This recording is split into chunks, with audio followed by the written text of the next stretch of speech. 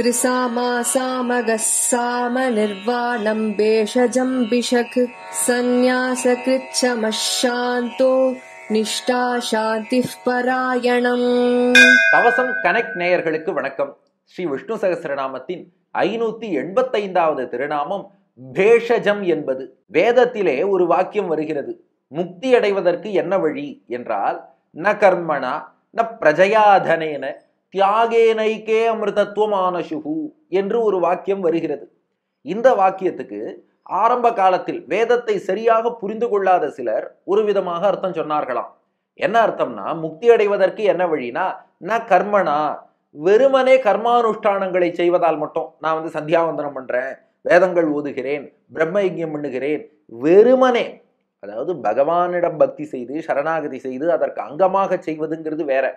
பகவானுக்கு அர்ப்பணித்து செய்யாமல் வெறுமனே ஏதோ நான் செய்கிறேங்கிற ஒரு எண்ணத்துல இந்த கர்மானுஷ்டானத்தை செய்வதால் மட்டும் மோட்சம் போக முடியாது. ந கர்மனா ந பிரஜையா. நிறைய குழந்தைகளை பெற்று அவர்களையெல்லாம் தர்மத்தின் வழியில் நடத்துவதால் மட்டும் ஒருவனால் மோட்சம் போக முடியாது. தனேன தனம். காசு கொடுத்தெல்லாம் மோட்சம் வாங்க முடியாது. காசு கொடுத்து உலகத்துல வேற எதையாவது வாங்கலாம். முக்தியை போய் காசு கொடுத்து வாங்க முடியுமா? வாங்க முடியாது. அப்ப வேற எதை கொண்டுதான் முக்தி அடைவதுனா தியாகேனைக்கே அமிர்தத்துவம் ஆனசுகு தியாகத்தால் மட்டும்தான் முக்தி அடைய முடியும். தியாகத்தை தவிர வேறு வழியே கிடையாது. அமிர்தத்துவம்னா முக்தின்னு அர்த்தம். ஏன்னா மிருத என்றால் மரணம் அடையக்கூடிய நிலை. அமிர்தனா மரணமில்லா பெருவாழ்வாகிய மோட்சம் தியாகேன ஏக்கே அமிர்தத்துவம் ஆனசுகு தியாகத்தால் மட்டுமே தான் முக்தி அடைய முடியும் என்று இந்த வாக்கியம் சொன்னது. இதை ஆரம்பத்தில் கவனித்த சிலர் வேதத்தை முழுமையாக புரிந்து கொள்ள முடியாத சிலர் இதற்கு என்ன அர்த்தம் சொன்னாங்கன்னா தியாகத்தால் முக்தினா தியாகம்னா சந்நியாசம்னு அர்த்தம். துறவரம் மேற்கொள்வதற்கு தான் தியாகம்னு பேர். தியாகத்தால் முக்தினா என்ன அர்த்தம்னா அப்போ நீங்கள் துறவரம் மேற்கொண்டால் தான் முக்தி. அப்போ யாரெல்லாம் துறவி ஆகிறார்களோ அவர்கள் மட்டும்தான் மோட்சம் போக முடியும். அதற்கு மேல் ஒரு விஷயம் யார் துறவியாகலாம் அப்படின்னா அந்தணர் குலத்தில் பிறந்த ஆண்கள் தான் துறவியாகலாம் அப்படின்னு ஒரு சாஸ்திர விஷயம் இருக்கு. அப்போ அந்தணர்களாகிய ஆண்களுக்கு மட்டும்தான் முக்தியே அடைய முடியும். ஏன்னா முக்தி அடையணும்னா துறவரம். தியாகம் பண்ணாதான் முக்தி. அதனால துறவரம் மேற்கொள்ள வேண்டும். அந்த துறவரமும் யார் மேற்கொள்ளலாம்னு சாஸ்திரத்தை பார்த்தா அந்தணர் குலத்தில் பிறந்த ஆண்கள். அப்ப இவர்களுக்கு மட்டும்தான் முக்தி.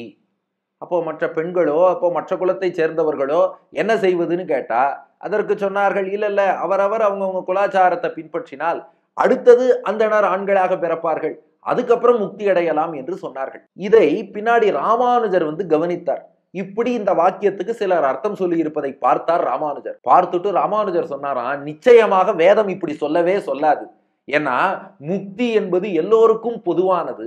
இறைவன் எல்லோருக்கும் பொதுவானவன்.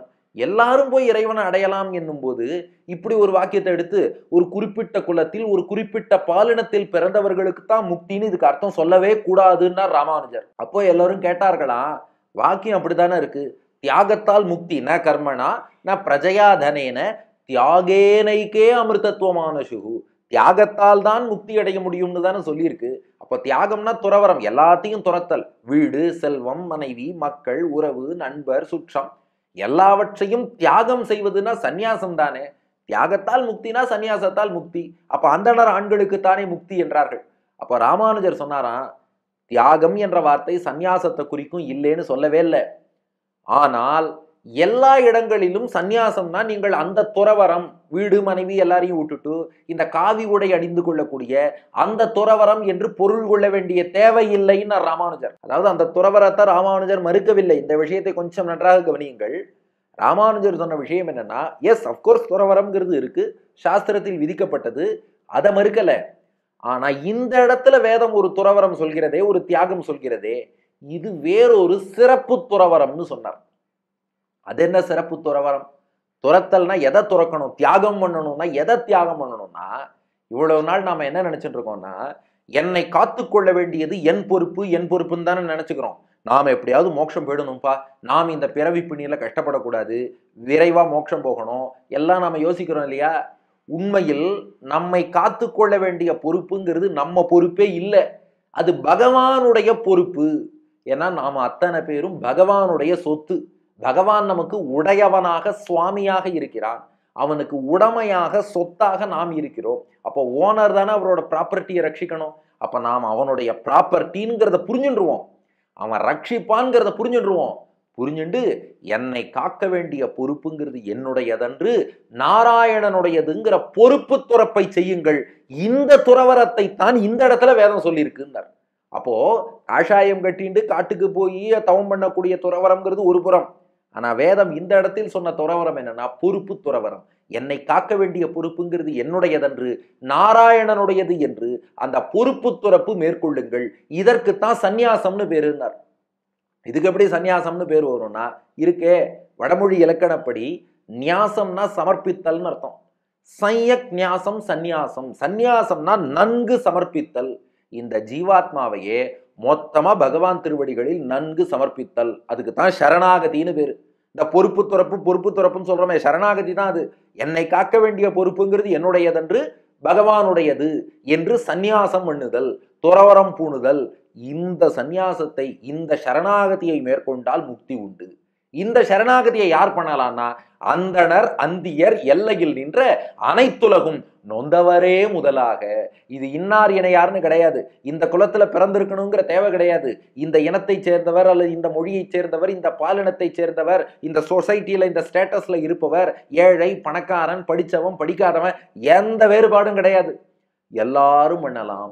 ஓரான் வழியாய் உபதேசித்தார் முன்னோர் ஏறார் எதிராசர் இன்னருளால் பாருலகில் ஆசை உடையோர்க்கெல்லாம் ஆரியர்கள் குறுமென்று பேசி வரம்பெருத்தார் பின். ராமானுஜர் சொன்னார் இந்த சந்நியாசம்னு இந்த இடத்துல வேதம் சொன்னது என்னன்னா சரணாகதியை தான் சொல்லியிருக்கு.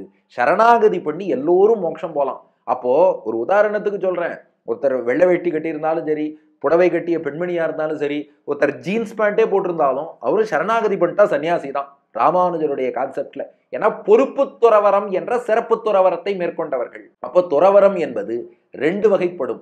ஒன்று அது ஒரு சில காரணங்களால குடும்ப வாழ்க்கை வாழ முடியாத சூழல் அல்லது துறவரத்திலே ஒரு நாட்டம். ஏதோ ஒரு காரணத்துக்காக காஷாயம் கட்டிண்டு போகக்கூடிய வீட்டை விட்டு செல்லக்கூடிய துறவரம்ங்கிறது ஒரு புறம். முக்திக்கு வழியான துறவரம் என்னன்னா அந்த துறவரம் பூண்டால் தான் முக்தின்னு இல்லை. இல்லறத்திலிருந்தே துறவரம் பூண முடியும். அதுதான் சிறப்பு துறவரமாகிய பொறுப்பு துறப்பு. டிஸ்கிளைமர்னு இன்னைக்கு சொல்கிறோம் இல்லையா? பொறுப்பு துறப்பு நல்லா புரியணும்னா நம்ம சங்கரா டிவி கவசம் கனெக்ட் எல்லாத்துலேயுமே கூட நீங்கள் நம்ம நிகழ்ச்சியெல்லாம் பார்க்குறீங்க அங்கே அவர்களுடைய நிர்வாகமே சில இடங்களில் போட்டுருவாங்க. டிஸ்கிளைமர் பொறுப்பு துறப்பு. இந்த உபன்யாசகர் அப்படி இப்படி ஏதாவது பேசுவார். அதுக்கெல்லாம் எங்கள் சேனல் பொறுப்பு இல்லை. நீங்கள் யாராவது திட்டணும்னு நினச்சா அவரே நேராக கூப்பிட்டு திட்டிக்கோங்கன்னு போடுறா பாருங்க. அதுதான் பொறுப்பு துறப்பு டிஸ்கிளைமர் அதுபோல் பொறுப்பு துறப்பு. என்னை காத்துக்கொள்ள வேண்டிய பொறுப்புங்கிறது என்னுடையது கிடையாது. பகவானுடைய பொறுப்பு என்னை காக்க வேண்டியது அவன் பொறுப்புன்னு சரணாகதி செய்யுங்கள். இப்போ இந்த வாக்கியத்தை பாருங்க ராமானுஜர் சொன்ன அர்த்தப்படி ந கர்மனா கர்மானுஷ்டானத்தால் மட்டும் மோட்சம் போக முடியாது. ந பிரஜையா பிரஜைகளை பெற்று அவர்களை தர்மத்தின் வழியில் நடக்க செய்வதால் மட்டும் மோட்சம் போக முடியாது. தனேன காசு கொடுத்தெல்லாம் மோட்சம் வாங்க முடியாது. தியாகே நைக்கே தியாகம் பண்ணிட்டு என்னால் என்ன பண்ணாலும் மோட்சம் போக முடியாதுன்னு சொல்லி தியாகம் பண்ணி என்னை காக்க வேண்டிய பொறுப்பு அவனுடையதுன்னு சொல்லி சந்நியாசம் சையக் நியாசம் நம்மை பகவான் திருவடியில் நன்கு சமர்ப்பிக்க வேண்டும். சமர்ப்பிச்சுட்டா மோட்சம் பெறலாம். தியாகே அமிர்தத்துவமான சுகு அமிர்தமயமான அந்த மோட்சத்தை இந்த தியாகத்தாலே அடைந்து விடலாம் என்று ராமானுஜர் காட்டினார். அப்போ இதுலேருந்து ராமானுஜர் காட்டிய வழி என்னன்னா பிறவிப்பிணிலேருந்து விடுபடணும்னா நம்முடைய ஒரு கர்மானுஷ்டானம் நம் செயல்பாட்டாலோ இன்னொருவர் மூலமாகவோ அல்லது பணம் கொடுத்து காசு கொடுத்து அந்த மாதிரி வழியாலோ முக்திங்கிறத அடைய முடியாது. முக்தி அடைவதற்கான வழியாக இருப்பவன் யாரு? பகவான். அவன்தான் இந்த பிறவி பிணிக்கு மருந்து. அப்போ இந்த வாக்கியத்துக்கு ராமானுஜர் சொன்ன அர்த்தம் நாம் செய்யக்கூடிய செயல்களோ அல்லது இன்னொருவர் நமக்கு செய்யக்கூடிய உதவியோ நாம் சம்பாதிக்கக்கூடிய செல்வமோ ந கர்மனா ந பிரஜையா தனேன இவை எதுவுமே பிறவி பிணிக்கு மருந்தாகாது. பகவான் தான் பிறவி பிணிக்கு மருந்தாவான். அதை புரிஞ்சுன்னா அவன் திருவடிகளை பிடித்துக் கொள்ளுங்கள். யார் வேணாலும் பிடிச்சுக்கலாம். யார் பிடிச்சிருந்தாலும் மோட்சம் கொடுப்பான்னார். அதனாலதான் பின்னாடி பாவேந்தர் பாரதிதாசன் ராமானுஜரை பற்றி ஒரு பாட்டு பாடினார். முத்தியோ சிலரது சொத்தென இருக்கையில் இத்தமிழ்நாடு தன் இருந்தவ பயனால் ராமானுசனை ஈன்றதன்றோ. ராமானுஜர் காலத்துக்கு முன்பு முக்தின்னா அது ஏதோ ஒரு குறிப்பிட்ட சாராருக்கு மட்டுமே உரித்தான சொத்துன்னு இருந்தது. எங்கள் சொத்துன்னு சொன்னார்களாம். ஆனா ராமானுஜர் தான் வந்து இல்லை பக்தி முக்தி இதெல்லாம் பொது சொத்து. எல்லோருக்கும் பொதுவானது. ஏன்னா இறைவன் வந்து ஒரு சாரார் தான் என்னை வந்து அடையணும்லாம் அப்படிலாம் ஒதுக்கி வைக்க மாட்டான்.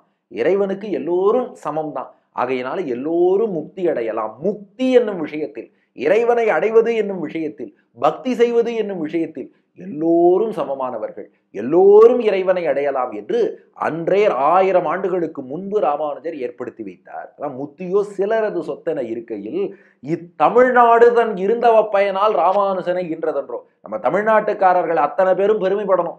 ஏன்னா தமிழ்நாடு செய்த ஒட்டுமொத்த தவத்தின் பலன் நம்ம தமிழ்நாட்டில் ராமானுஜர் அவதரித்தாரே. அவர் பாட்டுக்கு வேற ஸ்டேட்டில் அவதரிச்சிருந்தாருன்னா நமக்கு அந்த பெருமையை சொல்லிக்கொள்ள முடியாமல் போயிருக்குமே. அப்போ தமிழ்நாடு செய்த ஒட்டுமொத்த தவத்தின் பலன் இந்த ஆன்மீக பூமியிலே ராமானுஜர் வந்து அவதரித்தார். தமிழ் வேதங்களாகிய ஆழ்வார் பாசுரங்களின் பெருமையை எடுத்து காட்டினார். எல்லோரும் மோட்சம் போவதற்கு வழிகாட்டினார். எல்லோருக்கும் முக்தி அடைய ஒரே மருந்து யாருன்னா பகவான் தான் மருந்து. அப்போ மருந்துனா கசப்பு மருந்தானா இல்லை ஆழ்வார் பாடுறார் மருந்தும் பொருளும் அமுதமும் தானே. பகவான் எப்படின்னா இன்பமயமான அமுதமயமான மருந்தா இருக்கான். அவனே ஆறாவமுதன் ஆனாலும் மருந்தாவும் இருக்கான். அப்போ பிறவிப்பிணிக்கு மருந்தாக அமுதமயமான மருந்தாக அவன்தான் இருக்கான். அப்போ நாம் செய்யக்கூடிய செயல்களோ அல்லது பிறர் நமக்கு செய்யக்கூடிய உதவியோ நாம் சேர்த்து வைத்த சொத்தோ முக்தி பெறுவதற்கு வழியாகாது பிறவிப்பிணிக்கு மருந்தாகாது. இந்த பிறவி விடுபட்டு முக்தி அடையணும்னா ஒரே மருந்து யாரு? நாராயணன். அதனால தான் அவன் பேஷஜம் என்று அழைக்கப்படுகிறான். ஐநூத்தி எண்பத்தைந்தாவது திருநாமம் விஷ்ணு சகசிரநாமத்திலே பராசர பட்டர் விளக்குகிறார். அதஹா அசாத்திய சம்சார வியாதேகே பரமம் பேஷஜம். எவ்வளவு கஷ்டப்பட்டாலும் தீர்க்க முடியாத நோயாக இருக்கக்கூடிய இந்த பிறவி பிணி இந்த பிறவி பிணிக்கு ஒரே மருந்து யாருன்னா? நாராயணன் தான். பராசர பட்டர் ஒரு ஸ்லோகமும் மேற்கோள் காட்டுறார். நாராயணாத் ரிஷிகணாக ததா சித்தாக மகோரகாக தேவா தேவர்ஷயச்சைவ எம் விதுகு துக்க பேஷஜம் நாராயணன் மூலமாகத்தான் தங்களுடைய துக்கமாகிய பிறவிப்பிணிங்கிற துக்கத்துக்கு அவனே மருந்துங்கிறத நாராயணனிருந்தே தேவர்கள் ரிஷிகள் சித்தர்கள் எல்லோரும் அறிந்து கொண்டார்கள் என்ற ஒரு ஸ்லோகத்தையும் மேற்கோள் காட்டி அப்போ பிறவி பிணிக்கு மருந்தாக இருப்பவன் பகவான். அப்படி மருந்தாக இருப்பதால் பேஷஜம்னு அழைக்கப்படுகிறான். ஐநூத்தி எண்பத்தைந்தாவது திருநாமம். பிறவி பிணிக்கு மருந்தாக இருப்பவர் என்று பொருள். இப்போ இதற்கு அடுத்த திருநாமம் ஒன்று இருக்கு. அவர் மருந்தா மட்டும் இருக்கிறது இல்லை மருத்துவராகவும் அவரே இருக்கார். எங்கேயாவது இந்த அதிசயம் பார்க்க முடியுமா? மருந்தாவும் அவரே இருப்பார் மருத்துவராகவும் அவரே இருப்பார். அதுதான் ஐநூத்தி எண்பத்தாறாவது திருநாமம் பிஷக்குன்னு வரப்போறது. அதன் பொருளை அதற்கான ஒரு கதையை அடுத்த பகுதியிலே காண்போம். இன்றைக்கு நாம் எல்லோருக்கும் இந்த ஐநூத்தி எண்பத்தைந்தாவது திருநாம விளக்கத்தை எல்லோருக்கும் பகிர்ந்து எல்லோரோடும் இணைந்து பேஷஜாய நமகா என்று தினமும் சொல்லி வந்தால் அந்த பகவான் நமக்கும் அமுதமயமான மருந்தாக இருந்து நம் அனைத்து நோய்களையும் பிறவி பிணியிலேருந்து ஆரம்பித்து உடலுக்கு ஏற்படக்கூடிய நோய்கள் வரை எல்லா நோய்களையுமே அந்த பகவான் தீர்த்தருள்வான். ஆஸ் யூஷுவல் நம்ம அறுநூறாவது எபிசோடை நெருங்குவதாலே அறுநூறாவது எபிசோடுக்குள் தினந்தோறும் உங்களுக்கு ஏதாவது கேள்விகள் எங்கிட்ட இந்த விஷ்ணு சகசிரநாமம் தொடர்பாக இத்தோடு தொடர்புடைய விஷயங்கள் தொடர்பாக கேள்விகள் கேட்க நினைத்தால் அந்த கேள்விகளை எல்லாம் கமெண்ட் பாக்ஸிலே பதிவிடுங்கள். அறுநூத்தி ஒன்னாவது எபிசோடிலிருந்து தொடங்கி ஒரு நாளைக்கு ஒரு கேள்விக்கான பதில் வீதம் தினந்தோறும் உங்களுக்கான பதில்கள் வரும். நன்றி வணக்கம். ஆயிரம் நாமங்கள் ஆயிரம் கதைகள் முதல் பகுதி. இப்புத்தகத்தை வாங்க விருப்பமுள்ளோர் கவசம் டிவி டாட் காம் என்ற இணையதளம் மூலம் நேரடியாக வாங்கலாம்.